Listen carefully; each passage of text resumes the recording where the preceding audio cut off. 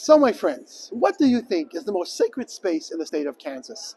I know what you're thinking. Probably the Chabad house, maybe your synagogue, your congregation. Well, I'm here today to tell you that you got it all wrong. I'm actually standing right now in the most sacred space in the state of Kansas, and that is the state capitol. Now, why is that?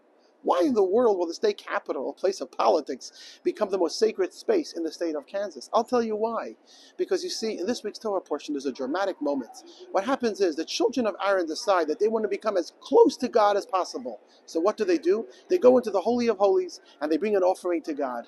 But ultimately, they expire they made a mistake. They ended up leaving this universe. Because you see, there's a message here.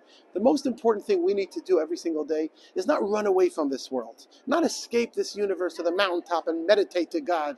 The most important thing we need to do, our mandate, is to be involved, emerged, engaged with this physical world and make this world a better place. And that's why I'm saying that the Kansas State Capitol today is the most sacred space. Because today we have created a moment where we brought the Holy of Holies, we brought the most sacred, the most spiritual, the most godly into this physical space. And what am I referring to?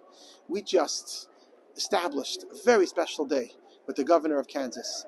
April 12th, the birthday, the 120th birthday of the Rebbe, is now Education and Sharing Day in Kansas. This is a day when all people are reminded that education is not about knowledge. Education is not just about preparation for a career, but rather, education is about the moral values and ethics that we impart to the next generation. If we want to do our part to make this world a better place, we need to ensure that every single person within our sphere of influence is educated how to be a mensch, how to make the right choices, how to remember that every single thing they do has a dramatic impact on the world around them.